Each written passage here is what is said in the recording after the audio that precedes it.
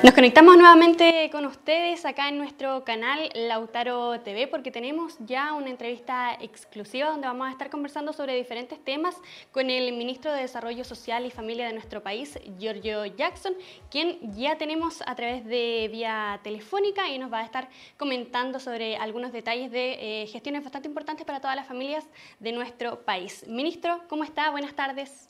Buenas tardes, ¿cómo están todos por allá? Súper bien, muchas gracias. ¿Cómo ha estado su día, su jornada?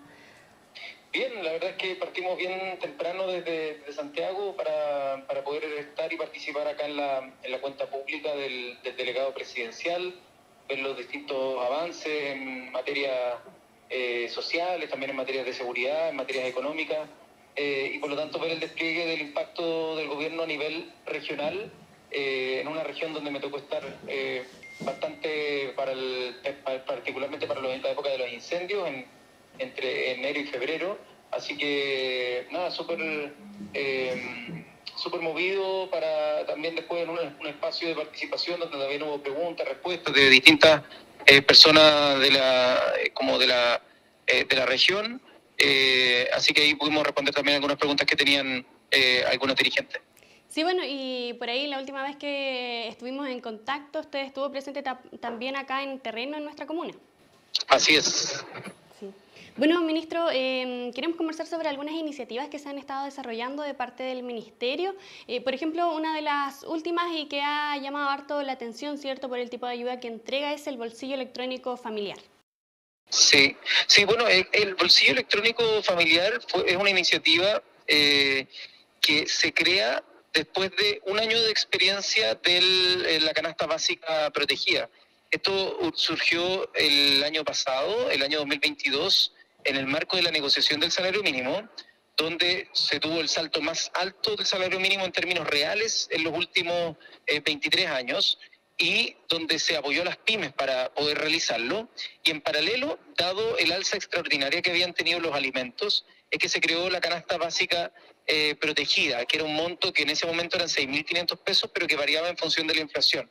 Eh, llegando el desarrollo de, ese, de, esa canasta básica a un monto máximo que bordeó los 13.500 pesos. Pero ese, ese después bajaba cuando bajaba la inflación y se acababa en el mes de abril.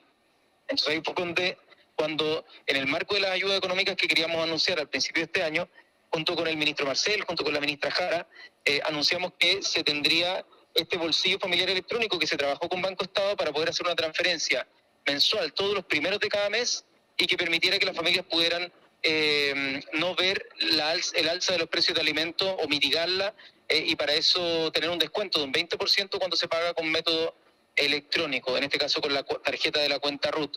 Eh, y ha funcionado súper bien esto, estas primeras semanas, así que estamos bastante contentos y se está planteando extenderlo durante eh, los cuatro primeros meses del próximo año también. Ministro, ahí, eh, bueno, cuéntenos un poquito los detalles de este aporte que se entrega, ¿cierto?, a través de la cuenta RUT, cómo se puede utilizar. Eh, ¿Es posible postular quienes no lo han recibido aún o tienen una lista ahí? Cuéntenos un poco esos detalles. A ver, perfecto. Mire, para cualquier información que se me vaya, ustedes pueden ingresar a bolsilloelectrónico.cl o .gov.cl. Eh, creo que entra por las dos páginas, se puede entrar.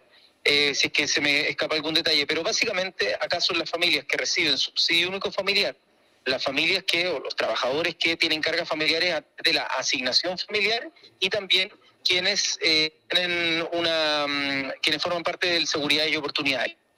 Ellos reciben mensualmente 13.500 pesos por cada una de las cargas familiares en esta como cuenta paralela de la cuenta RUT, que va a ir generando estos descuentos del 20%, pero uno, eh, a través de la aplicación de Banco Estado, puede modificarlo para poder gastar todo el bolsillo electrónico de una si que así lo quisiera. Pero la, la idea es que pueda ir eh, gastando de a poco para suavizar eh, y para generar el descuento en cada una de las compras para que no peguen tanto el alza que han tenido los alimentos. Eh, y esto se puede utilizar en todo el comercio que está dedicado al rubro de alimentos, ¿ya? Y eso también aparece en la página web en el caso que tengan la duda. Eh, eso, básicamente. ¿Esto es solo para eh, alimentación? O sea, son para comercios que están inscritos ante el Servicio de Impuestos Internos como del área de la alimentación, pero por ejemplo, si que están comprando en un almacén eh, y compran una pasta de dientes o si es que están en el supermercado y además, además de las compras que hacen de alimentos, compran unos pañales, también cuentan, o sea, no, no, no discrimina los productos, pero está orientada la política a reducir el gasto que han tenido en materia de alimentación, por eso se eligieron, eh, por así decirlo, comercios que vendan eh, alimentos, sin perjuicio que vendan otras cosas también. Ya, perfecto. ¿Y ahí, ministro, alrededor de cuántas eh, familias son beneficiarias de este aporte? A ver, son más de 3 millones de cargas familiares que las que se ven beneficiadas mes a mes, eh, pero como tenemos alrededor de un promedio de dos cargas por cada uno de eh, los hogares, estamos hablando de que el depósito mensual se hace a cerca de un millón y medio de personas, ya que reciben este beneficio por eventualmente sus hijos o hijas o las cargas que, que, tengan en ese momento inscritas. Así que eso es más o menos el orden de magnitud. Eh, son hartos recursos que se están inyectando para precisamente favorecer eh, la situación que hoy día están viviendo la familia. Ministro, preguntarle ahí también sobre el tema de la canasta básica. Eh, tuvo una baja que se anunció hace unos días. A ver, sí, lo, que pasa es que la canasta básica de alimentos es un conjunto de 79 productos que se van midiendo mes a mes a partir del Instituto Nacional de Estadística eh, y que eh, se considera como el mínimo para poder eh, tener una alimentación de 2.000 calorías al día en promedio. Y eso tuvo una alza súper significativa durante el último año y fracción. Y recién estamos viendo los primeros brotes eh, los primeros cuatro meses donde está bajando la tendencia al alza de esos últimos meses y hemos tenido particularmente dos meses donde ha bajado el costo de la canasta básica. Ahora, no podemos celebrar y decir, wow, eh, ya ahora todo el mundo puede seguir comprando porque sabemos que está alto, ya la, la baja no es tan alta, pero quiebra una tendencia que había tenido de alzas sostenidas durante el último tiempo, sobre todo después de la guerra de Rusia en Ucrania. Por lo tanto, eh, creemos que es una buena noticia que no siga creciendo, incluso que haya habido dos meses donde baja, pero tenemos mucha tarea por delante para que esto pueda mantenerse hacia la baja, ojalá, eh, y que de esa forma las familias puedan acceder a, eh, a la alimentación que corresponde. ¿Se espera que durante los próximos meses esta tendencia se pueda mantener? Eso es lo que esperamos nosotros y estamos trabajando con todas las fuerzas para generar las condiciones de que eso ocurra. Sí. Ministro, y preguntarle eh, también, ¿cierto? Hay em, una cartera ministerial de varios proyectos que se están ejecutando de parte de Desarrollo Social y Familia. ¿Cuáles son otros tipos de ayudas económicas en los que están trabajando actualmente?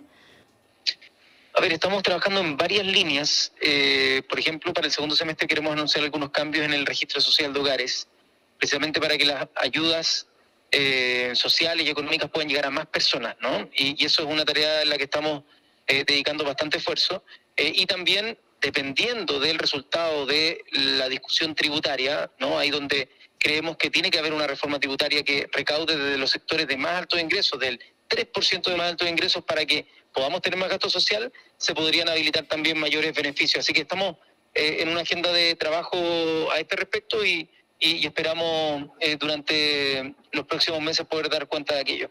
Sí. Bueno, eh, mencionaba usted cierto que había estado en eh, la jornada acá en la región por la delegación presidencial.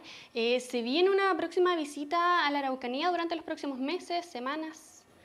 De hecho, para junio tenemos presupuestado poder venir para la época del Huachipanto eh, y de esa manera poder participar de varias las actividades que se desarrollan en esa, en esa fecha. ¿Hay posibilidades ahí de que se pudiera arrancar un poquitito para nuestra comuna? Uno nunca sabe. Yo ahí tengo que hablarlo con mis equipos que ya me tienen eh, solicitudes de como ocho, ocho comunas distintas de la región. Eh, así que vamos a incorporar eh, a Lautaro como una de las comunas donde hay solicitud para poder tener actividades y eso después los equipos lo van a ir resolviendo. Yo feliz de participar de las actividades que en general me, me invitan desde la región. Sí, bueno, acá dice que hay mucha gente que lo está esperando y varios de la U también. Eso es un buen incentivo, ¿no? Que, que vayan varias gente de la U eh, que no nos ha ido tan bien, pero no, mejor que el año pasado, de todas maneras. Estamos ahí peleándola. Sí, bueno, ahí consultarle con respecto al posicionamiento, porque no podíamos dejar una pregunta futbolera eh, de lado, ¿cierto? Conversando con usted. ¿Cuál? Eh, ¿Qué parece este el posicionamiento que ha tenido la Universidad de Chile?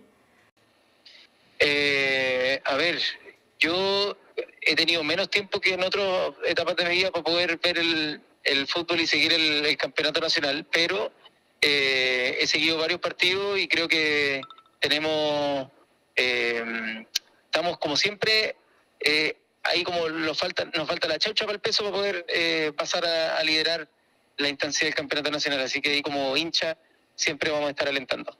Bueno, y ahí, y ahí con, con respecto ¿cierto? a estas temáticas que se han presentado, ¿dónde nos está dejando ingresar al estadio?